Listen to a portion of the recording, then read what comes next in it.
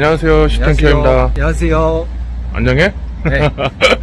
자, 오늘은 이제 이 친구가 이제 2박 3일 이제 교육이 끝나고 3일째 되는 날인데, 아, 4일째, 4일째지? 네. 2박 3일이고, 네. 4일째 되는 날인데, 유창 이제 청소 현장에 왔습니다. 네, 여기는 뒤에 보이는 것처럼 시트지를 제거를 해주고, 유창 청소를 진행을 해야 돼요. 네, 견적 금액은 일단은 30만원. 2박 3일 동안 이제 배우는 우리 교육생이랑 같이 해가지고, 같이 이제 작업을 진행을 할 건데, 어, 시트지를 벗기고, 그 다음에 이제 유리장 청소를 뭐 진행해야 되는 그런 현장입니다. 근데 이제 때마침 이제 아다리가 잘 맞아가지고, 난이도는 낮아요. 난이도는 그렇게 높은 편은 아니에요. 그래서 이제 둘이 한번 재밌게 이제 작업을 하도록 한번 해보겠습니다. 일단은 스크래퍼, 칼을 쓰는 그런 작업이기 때문에 항상 이제 안전에 유의를 해야 돼. 면적은 그렇게 큰 편은 아니에요. 혼자 2시간 컷이면은 충분히 할 수 있는 현장인데 오늘은 이제 기본적인 이제 교육의 연장이라고 생각을 하고 이제 시트지 벗기는 방법부터 그 다음에 이제 스크래퍼 이걸로만 해갖고 이제 수익 창출을 할 건데 어렵지는 않아 노가다의 연속이니까 네. 한번 오늘 재밌게 작업 한번 해보도록 하자고 자, 한번 해보자 작업 네. 시트지 제거 방법은 교육 내용에는 없었는데 잘 들어봐야 되는 게 뭐냐면은 스크래퍼는 항상 밑에서 위로 가면 안 돼. 네. 어, 아까 아까 말했던 것처럼 네. 위에서 아래로 가야 돼. 네. 시트지를 제거를 하다 보면 가끔 이런 식으로 이렇게 제거를 하다가 떨어져 얼굴 찍는 경우도 있어.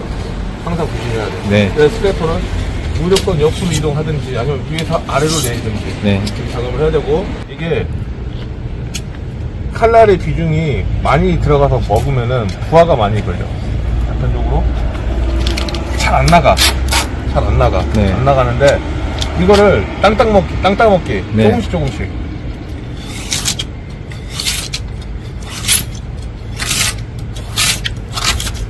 이런 식으로 조금 조금씩 해서 제거를 해줘야 돼.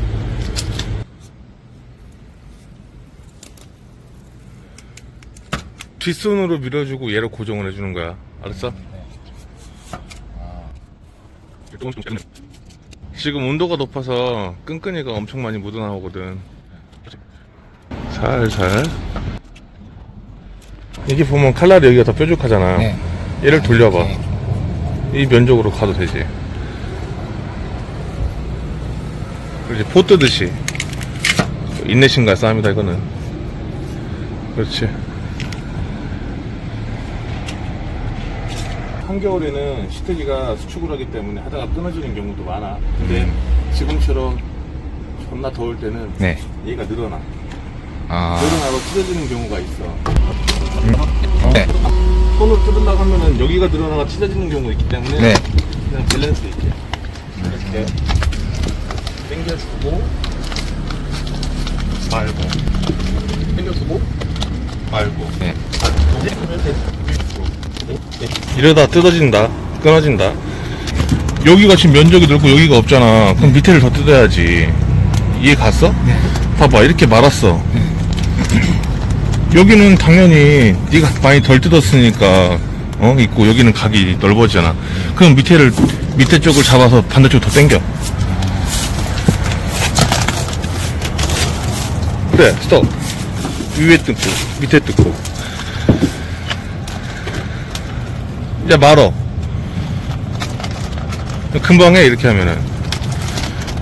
나를 뒷날을 세우지 말고 좀 눕혀. 눕히고 얘를 얘를 압착을 하고. 뭔 말인지 알아? 얘를 압착을 하고 얘로 올려 세웠다 냈다 하는데 얘는 눕힌 상태에서 힘을 주고 쫙 밀면 돼. 이렇게 어렵게. 해. 자 우리 지금 시작한 지 20분도 안 됐어. 근데 지금 시트지는 다 벗겼다. 현장이 30만원짜리 현장이야 어? 30만원짜리 현장 중에서 지금 벌써 시트지는 다 벗겼어 나머지 이제 찐 제거하는 디테일 작업은 필요하겠지만은 길어봤자 1시간이면 끝나 뭔 말인지 알겠어? 이게 메리트라는 거야. 유리창 청소의 메리트. 갖고 와봐. 카메라 들어. 스냅을 네가 못 쳐서 그러는데 네.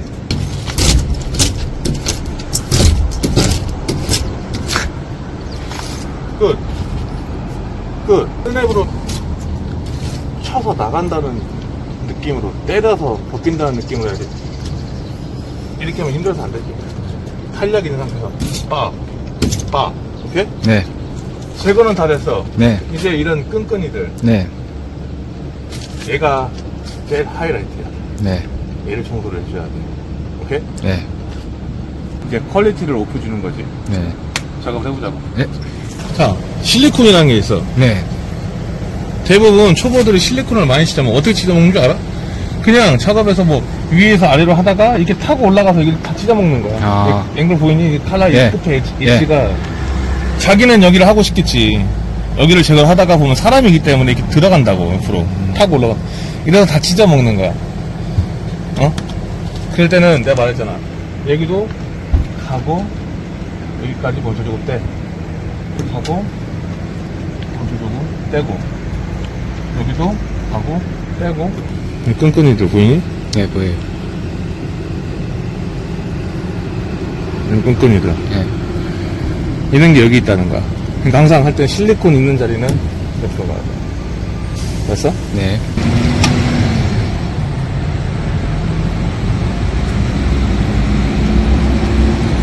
그렇지 실리콘 안 닿게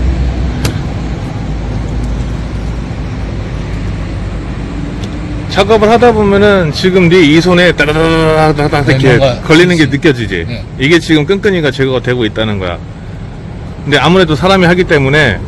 한 번에 되면 좋은데 그래도 반복 작업이라는 게 있어 이해 갔지? 네.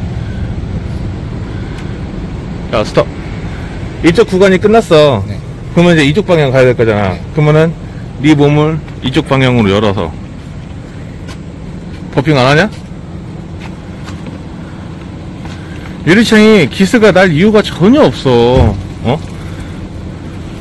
그래 딱 섹션을 나눠가지고 한 번에 가면 좋겠지만은 마르기 때문에 네. 오른손을 약간 더 세워. 어, 그렇지. 너무 가지 말고 가면 봐봐. 여기 지금 힘이 안 받잖아. 네가 봐도 힘 받았어, 안 받았어? 안 받았다고. 욕심을 낼 필요가 없어. 네가 할 수 있는 구간까지 이만큼만 가고 여기 잘라서도 되잖아. 네. Let's go.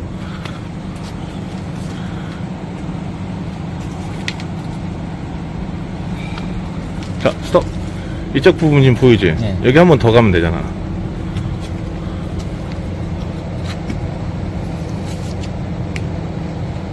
스톱.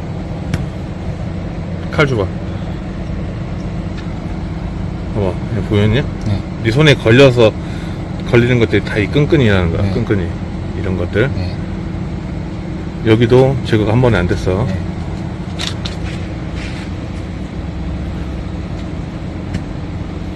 그러니까 무조건 하는 게 아니라 하면서 보는 거야. 네. 뭔 말인지 알겠니? 네. 그리고 이거를 지그시 미는 게 아니라 임팩트를 주라고 했잖아. 빠! 빠! 그렇지. 임팩트를 빠! 그런 식으로.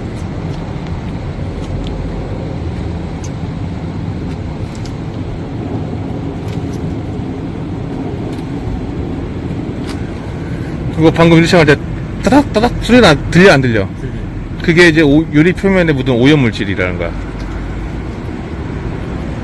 그런 이런 그 스크래퍼에 따닥따닥 걸리는 소리들이 유리에 붙은 이물질인데 그런 이물질들은 패드로도 잘 안 닦여.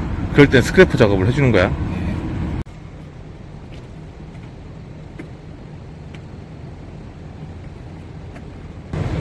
다시 옆 섹션으로 넘어가서 한 번에 못 칠 것 같으면은 나눠서 쳐도 돼.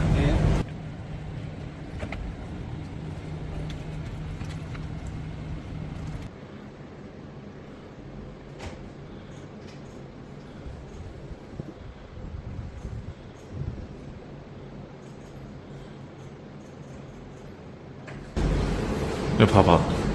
스크래치 많지? 이게 우리가 그랬을 것 같아? 앞전에 이제 작업을 하면서 제대로 된 이렇게 작업 방식이 아니기 때문에 다 유리가 기스가 나는 거야.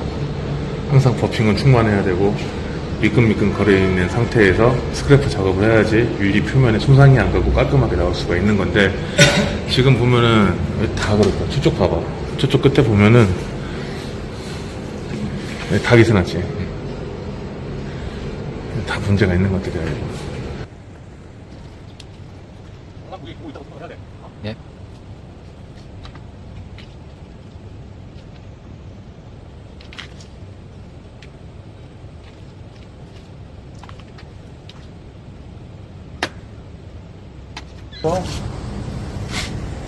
아, 이게 어렵냐? 아니요.